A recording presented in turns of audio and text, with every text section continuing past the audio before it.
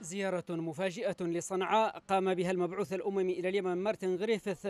أسفرت عن تقدم وصف بالجوهري على صعيد تنفيذ اتفاق الانتشار المتبادل بمدينة الحديدة وموانئها الثلاث. لا يزال حتى اللحظة محل شكوك بشأن مصداقيته الميدانية.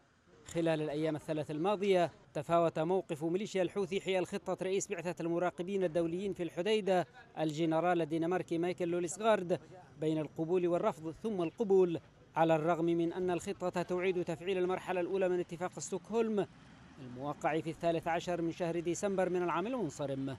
وكانت لجنة التنسيق المشتركة لإعادة الانتشار قد عقدت اجتماعات في فندق تاج أوسان استمرت يومين برئاسة روليس غارد انتهت إلى اتفاق بشأن المرحلة الأولى من إعادة الانتشار المتبادل للقوات وفقا لاتفاق برعاية المنظمة الدولية ينص على مغادرة القوات التابعة للطرفين مدينة الحديدة وذلك وفقا لبيان صادر عن المتحدث باسم الأمين العام للأمم المتحدة ستيفن دوغاريك. البيان. أكد أن الطرفين توصلا إلى اتفاق بشأن المرحلة الأولى من إعادة الانتشار المتبادل للقوات بعد مناقشات مطولة لكن بناء سهلها رئيس لجنة مراقبة تنفيذ اتفاق الانسحاب. لكن أي موعد لم يحدد بشأن البدء بنزع السلاح كما لم يؤكد أي من طرفي الصراع في الحديدة. صحة ما جاء في البيان الأممي. وأوضحت الأمم المتحدة في بيانها أن الطرفين اتفقا أيضا بشكل مبدئي على المرحلة الثانية من إعادة الانتشار المتبادل بانتظار إجراء مزيد من المشاورات مع قيادتيهما. لا جديد إذن أضيف إلى ما تم الاتفاق عليه في ستوكهولم في ديسمبر الماضي.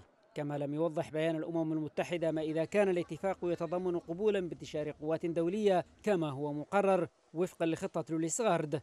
والأهم من ذلك أنه لا موعد مقرر حتى الآن لبدء الانسحاب المتزامن لمقاتلي الحوثيين من الموانئ والمناطق الحرجة في مدينة الحديدة.